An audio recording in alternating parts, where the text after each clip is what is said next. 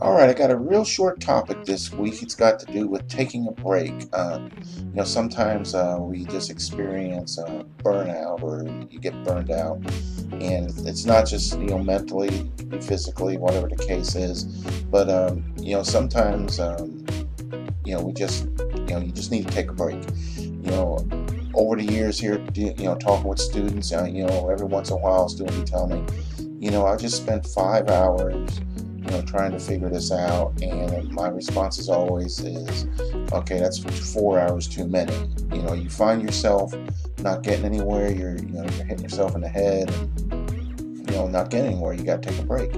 And just like anything else, you know, sometimes we just, you know, we got so many things going on, and uh, you know, your brain power slows down you know the more time you put with it. So you got to take a brain break. Uh, it's that simple, and recharge your batteries. You know that's the thing. You know you got to recharge. You know, take a break. You relax. You know, uh, I use the push-up analogy. Uh, those you've been with me a while, you may have heard me mention this before.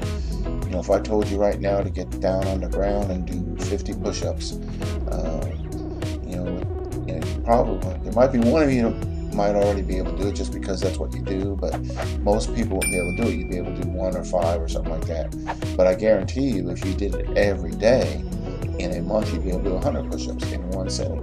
Uh, so it's just the, uh, you know, you got to train your brain just like you train your body. Okay, so you got to take those breaks. You know, don't overdo it.